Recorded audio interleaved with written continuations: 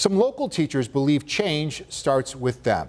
Jeff Rusack spoke with the members of this group about the changes they want to see in local education. The idea is to keep everyone accountable. That's what brought dozens of educators to the steps of Buffalo City Hall. They came with demands. Instead of demanding others to take action, they're taking upon themselves to make changes. What we do want to attack is what we can control. We can control what happens in our schools because ultimately we're the ones that put police officers in their positions because we educated them. The three demands end the school to prison pipeline, create a more welcoming environment for all cultures, and empower black and brown students.